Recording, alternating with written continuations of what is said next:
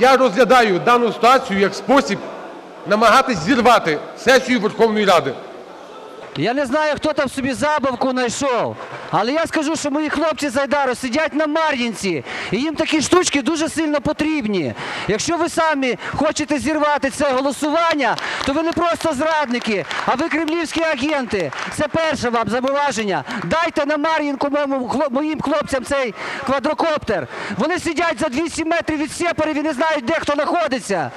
Ганьба вам!